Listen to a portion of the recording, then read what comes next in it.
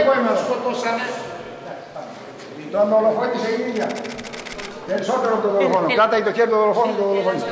Σε ηλεκτρισμένη ατμόσφαιρα κάθονται στο εδόλιο η αποκαλούμενη σατανική χείρα της Ιτίας και ο βούλγαρος αστυνομικός εραστής της. Κατηγορούνται για τη στιγερή δολοφονία του γνωστού καρδιολόγου Χριστόδουλου Καλατζάκη που έπεσε θύμα ενέδρα τον Οκτώβριο του 2017 και εκτελέστηκε αφού δέχτηκε βολές πισόπλατα ενώ κατευθυνόταν προς το ιατρείο του.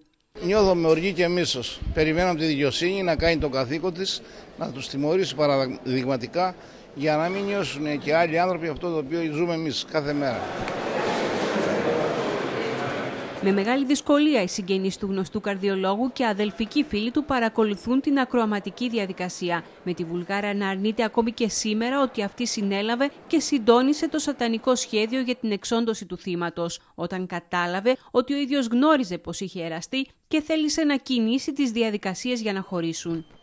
Κίνητρό της, σύμφωνα με όσα περιγράφουν, ήταν η μεγάλη περιουσία του γιατρού, την οποία ήθελε να κληρονομήσουν η ίδια και το παιδί που είχε αποκτήσει στη διάρκεια του γάμου της με τον καρδιολόγο. Τον εξαγόρασε με χρήμα και με σώμα και έστειλε έναν άνθρωπο, ο οποίος είναι επαγγελματίας από ό,τι φαίνεται δολοφόνος, έκανε τη δουλειά του, πληρώθηκε σώματι και χρήματι και το σκότωσε. Δηλαδή, όταν κράταγε αυτό στην καραμπίνα που του ρίξε στο τζάμι, δεν έχω εδώ τη φωτογραφία, στη δείξω με το δεκάβολο και φάει τα 11, δύο εδώ και μία εδώ και βγήκαν όλες μπροστά βέβαια οι σφαίρες. Άμα δείτε παραμορφωμένο, το έχω. Γιατί το έβγαλε φίλος μου ένα λεπτό μετά τη δολοφονία που ακολουθούσε εγώ πίσω.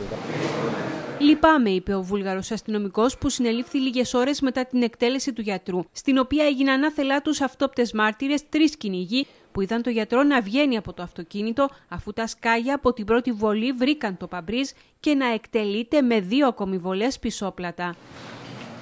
Όπως δήλωσε στο δικαστήριο στην έναρξη της δίκης, φοβόταν για τη ζωή του παιδιού του, επικαλούμενος ένα μήνυμα που δέχτηκε από το γιατρό όταν κατάλαβε ότι ήταν εραστής και όχι ξάδελφος της γυναίκας του. Για μένα ο γονιάς είναι ε, η Βουλγάρα. Αν δεν είχαμε Βουλγάρα, δεν θα είχαμε Βούλγαρο.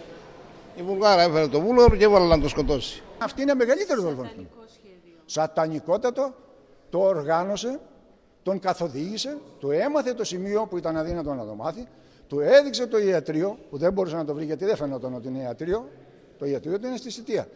Του είπε ότι έφυγε με το Mercedes το πρωί το μεγάλο, το 4400 αριθμό, ενώ είχε τρία αμάξα. Η αποκαλούμενη μαύρη χείρα της Ιεράπετρα, η οποία αποφυλακίστηκε πέντε μήνες μετά τη σύλληψή της για ηθική αυτουργία στην άγρια δολοφονία, αρνείται κατηγορηματικά ότι γνώριζε τα σχέδια του εραστή της και μάλιστα σήμερα έχει προσλάβει δικηγόρο για να εκπροσωπήσει την ίδια και το ανήλικο παιδί της εναντίον του βούλγαρου αστυνομικού. Μάλιστα η ίδια έχει υποβάλει βροχή μηνύσεων στην αδελφή του καρδιολόγου και τους στενούς φίλους του, που σήμερα ήταν κόλαφος στις καταθέσεις τους στη διάρκεια της ακροαματικής διαδικασίας.